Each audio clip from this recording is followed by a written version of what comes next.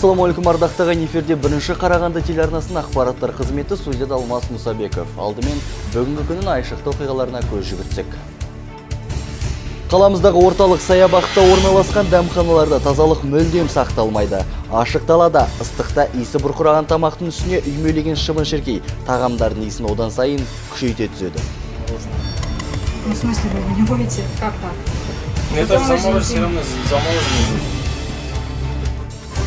будет. Қарағандыда республикалық қауіпсіз тағамды таңда атты акция ұйымдастырылды. Шара аясында экспресс әдіспен жеміс жидек пен көкөністердің азық түліктің сапасы тексерілді. Қарағандыда нәзіктік флешмобы ұйымдастырылды. Орталық алаңға шыққан жүзге жуық нәзік жанды би билеп, қала халқына түрлі сыйлықтар таратты.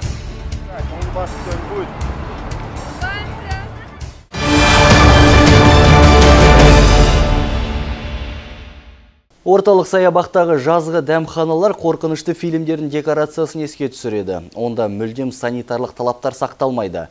Жазғы дәмханалардан жүрек жалғайтын халық күннің ыстығында ашық далада қалай тамақтанатындарын өздері де ескермейді. Жауыннан кейінгі қаптаған саңырауқұлақтардай жаз мезгілінде дәмханалар көбейе түседі. Онда қаншама адам тамақтан уланғанымен ол жағдай үнемі қайталанып келеді. Және адамдар жазғы дәмханалардан кәуап алуын тоқтатар емес. Еттің өзі кір картон жәшіктерде жатады. Кәуап пісірушілер ыстық мангалдың жанында моншақтаған терін сүртіп, кеудесіне дейін шешінген күйінде камераға түсіп қалмас үшін жеңіл жейделерін киіп үлгерді. Сондай-ақ саябақта орталықтандырылған су құбырлары тартылмаған. Мұнда ыдыс аяқпен қол жуудың өзі үлкен мәселе. Где вы руки моете, мясо моете? Мясо не знаю, как же. Как ее повезет, так замороженный. Ну, в смысле, вы не будете? Как так? Ну это же Замороженный замороженный, все равно замороженный будет. Ну, оно же, его же нужно мыть. Саябақтағы дәмханаларда санитарлық кітапшалар мүлдем жоқ. Күніне бірнеше адам қол сүртетін орамалды қолдануға ешкімнің құлқы болмаса да, дәмхана қызметкерлері клиенттеріне ұсынып әлек болады. Қол жуғышта шыбын шіркей жүзіп, тамақтанатын орындарда ұшып жүреді. Воду вы где берете? В озере? Нет. А где? Питьевая вода. А что только в озере можно воду? Ну, я спрашиваю. Питьевая вода вы ее покупаете, чтобы мыть руки? Да. Сами покупаем. Чтобы мыть руки. Полотенце это для чего? Руки вытирать клиентам? Келесі дәмханаға тілшілерді қожайындары кіргізгенде жоқ. Айтуынша асханада жөндеу жұмыстары жүргізіліп жатыр. Ал қонақ күту залында даяшылар өз клиенттерін күтуде. Мұндай жағдай саябақтағы біраз дәмханаларда болса керек. Су құбыры екі тамақтану орнында ғана бар. Тағы бір мәселе тамақтың иісі саябақтың ортасына дейін жетіп жатады. Кәуап пісірушілердің мангалында арнайы фильтр болу керек. Алайда ондай құрал ешбірінде жоқ. Если нормально хотите поговорить, серьезно. Хорошо, тогда пропустите меня Давайте, ну подождите, уберите. Пропустите меня на уберите. кухню, раз вам уберите, там ремонт идет, так что нет, уберите. Жазғы дәмханалардың түйінді түйткілін айта берсе шыға береді. Онда тіпті дәретхана да жоқ. Сондықтан саябақтың ішін былғайтындар жетіп артылады. Многие жители говорили о том, что көптеген тұрғындар бізге шағым түсіреді ағаштың бұтақтары жасырынып дәрет сындыруға қолайлы ұяты жоқ жандар талдардың көлеңкесін қажетін өтейтін орынға айналдырған біз сондықтан талдарға зиян келтірмейтіндей төменгі бұтақтарын қиып тастаймыз Саябақта дәретханалар бар, алайда олар жабық тұрады. Себебі ол дәретханаларға дәмхана қызметкерлері мен өздерінің тұтынушылары ғана бара алады екен. Ал ондағы тазалық жұмыстары күніне бір ақ рет жүргізіледі. Вы вообще на это Мы за свой счет его чистим, за свой счет мы его моем. Почему мы должны мыть это? Если это общество парка, они пускай моют тогда, а мы сами моем. Все понятно. Кәсіпкерлер өз қаржысына дәретхана орнатқысы келмейді. Ал шенеунікте дәретхананың өзі бизнес болғандықтан оған қосымша қаржы бөлінбейді деп отыр. Бұл мәселе үнемі көтеріліп келе жатқанмен әзірге шешілетін түрі көрінбейді. Коммуналдық шаруашылық бөлімінің өкілдері саябақта үш дәретхана орнатуды жоспарлап отыр. Ал бұл дәретханалар бүкіл саябаққа жеткілікті ме? Жаңабек Наров Дастан Шанин, бірінші Қарағанды телеарнасы. Ал бүгін қоғамдық денсаулық сақтау басқармасы қауіпсіз тағамды таңда атты акция ұйымдастырды. Шара аясында экспресс әдіспен жеміс жидек пен көкөністердің азық түліктің сапасы тексерілді. Акция тамыздың 2 мен 4 аралығына жалғасады. Бүгін Қазыбек би ауданының қоғамдық денсаулық сақтау басқармасы тексеріс жұмыстарын шығыс базарында жүргізді. Қарағандыға алыс жақыннан келетін азық-түлік көкөніс жеміс жидектер негізінен шығыс базарында сатылады. Сондықтан акцияда осы базардан басталды. Шара аясында 92 жеміс жидек пен көкөніс түрлері тексерілді. Микробиологиялық тамақ өнімдерінен он сынама алынды. Нәтижесінде қарбыз қауыннан және жүзімнен нитрат мөлшерден артықтау шықты. Акцияның мақсаты сауда орындарындағы бақша өнімдері мен дайын тағамдардың санитарлық, эпидемиологиялық ережелер мен техникалық регламенттерге сай болуын қадағалау дейді мамандар алыс жақын шетелдерден және қазақстанда өндірілген өнімдерді осы шығыс базары арқылы келіп түседі. Сондықтан бүгінгі акция осы шығыс базарында жүргізіліп жатыр. Бұл біздің халқымызды қауіпсіз сапалы және ілеспе документ ілеспе құжаттарымен құжаттары бар тағамдармен қамтамасыз ету.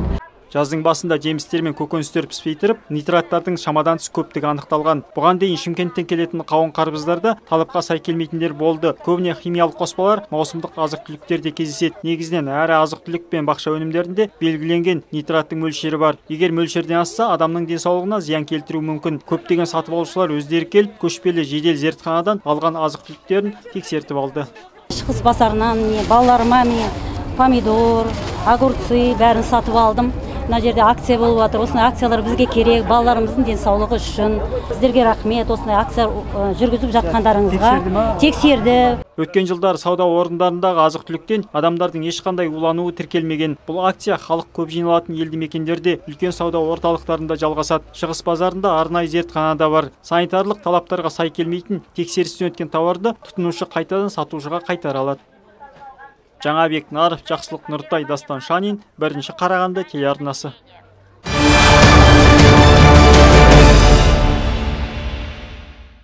Заңмен байланысқан азаматтарды әлеуметтік қолдау аймағын құру. Осындай тақырыппен Қарағанды қаласында кеңейтілген семинар өтті. Құқық қорғау, білім беру мен денсаулық сақтау саласының өкілдері қатысқан отырыс барысында әлеуметтік оңалтудың негізгі бағыттары талқыланды.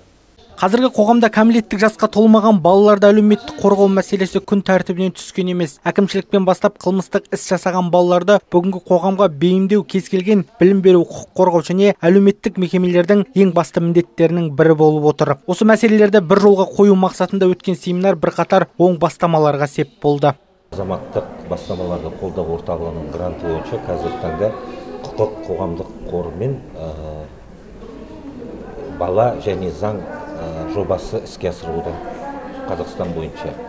Енді бұл жобаның негізгі мақсаты заң бұзған оның ішінде заңмен байланысқан қылмыс жасаған балаларды әлеуметтік сонымен қатар қиын балаларға арналған ұйымдарда орналасқан балаларды олардан оралған балаларды әлеуметтік қолдау болып табылады.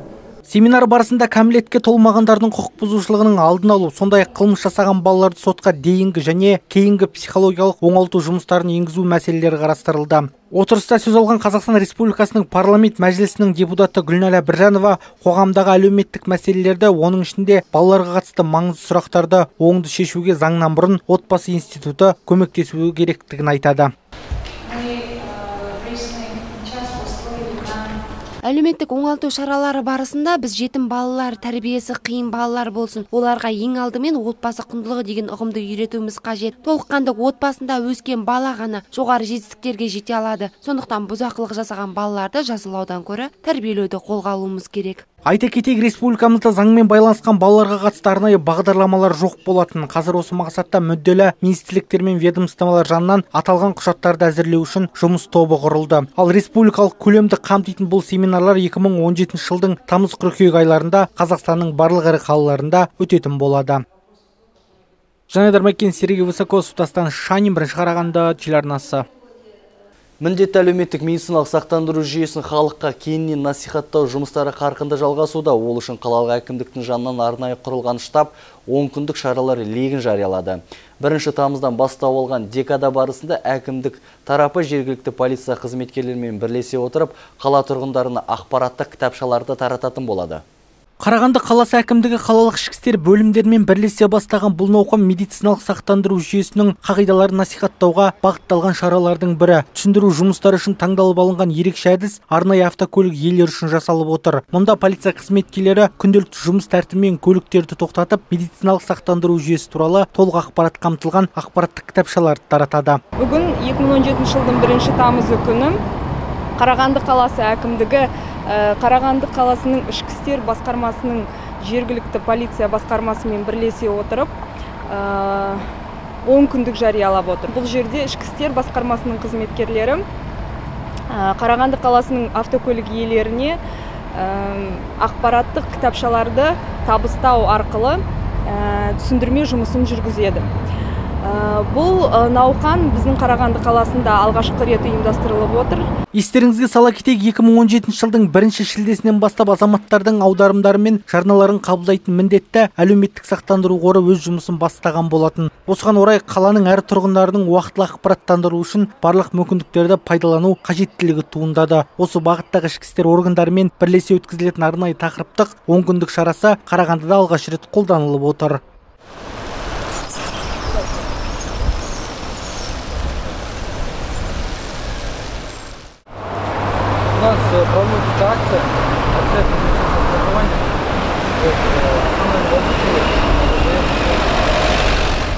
Айта кетейік, он күндік науқаны барысында екі тілде жазылған 3 мыңнан аса кітапшаны тарату жоспарланған. Бұдан бөлек кез келген қала тұрғынына туындаған барлық сұрақтар бойынша 95 55 59 немесе 14 34 бірегей байланыс орталығына қоңырау шалуға болады. Барлық қоңыраулар тегін негізде жүргізіледі.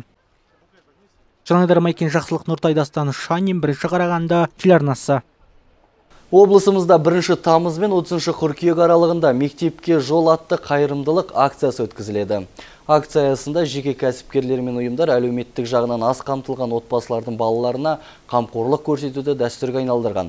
Аталмыш науқан еліміздің барлық аймақтарында 9 жылдан бері ұйымдастырылып келеді.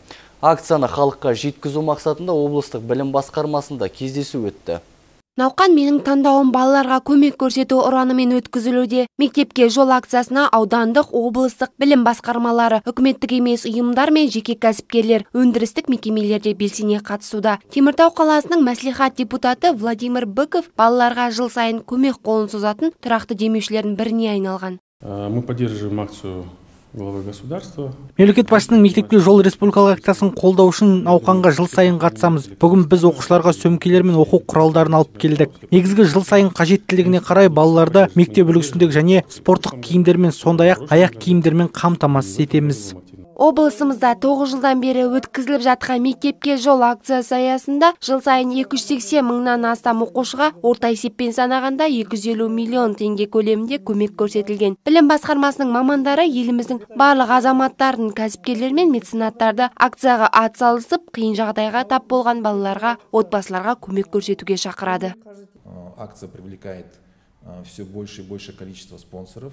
Жыл сайын акцияға қатысатын демеушілердің саны артуда. Осыған сай акцияның арқасында біз көп оқушыларға көмек бере аламыз. Демеушілер балаларға қалам, дәптер, сурет дәптері сияқты оқу құралдары мен мектеп үлгісіндегі және спорттық киімдерін алып келеді. Акцияның мақсаты оқу жабдықтармен қамтылмаған балаларды анықтау, әлеуметтік осал және көп балалы отбасынан шыққан оқушыларға ата-ана қамқорлығынсыз қалған балаларға қолдау көрсету, сондай-ақ әлеуметтік себептер бойынша балалардың мектепке бармай қалуының алдын алу. Акцияны өткізу барысында оқу жылының басталуына дайындалу үшін түрлі іс-шаралар өткізу жоспарланып отыр. Оның ішінде профилактикалық рейд жұмыстарын ұйымдастыру, аз қамтылған отбасыларына көмек көрсету бойынша киім-кешек, оқу құралдарын қабылдайтын пункттер ашу төмендетілген бағамен мектеп тауарларын сататын кәсіпкерлерді тарта отырып мектеп жәрмеңкелерін ұйымдастыру. Айдана неспа жасұлан мақұлбеков дастан шанин бірінші қарағанды телеарнасы.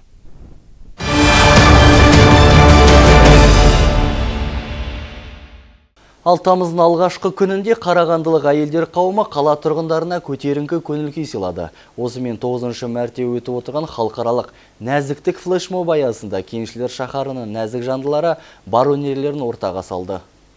Нәзіктік флешмобы деп аталатын ерекше акция қазір әлем бойынша дәстүрге айналған десе де болады. Сәнді көйлек киіп шаштарына гүл таққан қарағандылық нәзік жандылары да қала тұрғындарына би билеп көтеріңкі көңіл күй сыйлады. Бұл акцияға осымен екінші мәрте қатысып отырған ангелина зелепукина мұндай шаралар бір жағы саламатты өмір салтын насихаттаса екінші жағы халықтың еңсесін көтеруге бағытталған дейді. Очень женственный. Нәзіктік флешмобына мен осымен екінші рет қатысып отырмын. Маған халыққа көңіл күй сыйлаған ұнайды жыл сайын бұл шараны достарымызбен асыға күтіп дайындаламыз. Осы флешмоб үшін арнайы киімдер тіктік. Әркім үйінде бар түрлі түсті безендіргіш бұйымдарын да ала шыққан. Өзіміз үшін де қала тұрғындары үшін де пайдалы акция.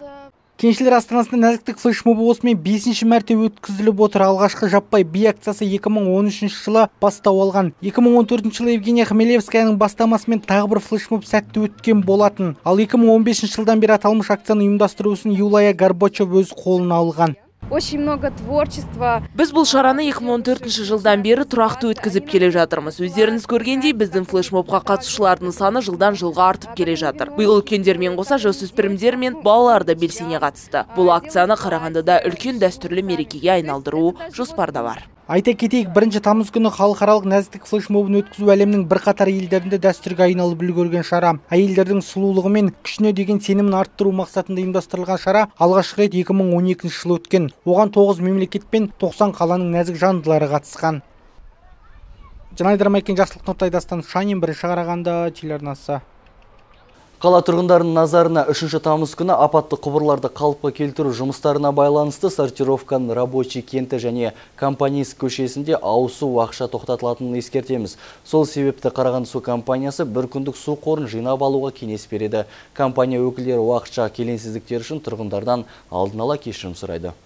Ардақты ағайын бүгінгі арнамызға келіп түскен ақпараттар легі осындай болды. Егерде бір қызықты жаңалықтарыңызбен бөліскіңіз келсе, редакциямыздың 420649 телефондарына қоңырау шалуға болады. Жаңалықтарымыздың толық нұсқасын арнамыздың сайтынан таба аласыздар. Мен қоштасамын. Амандықта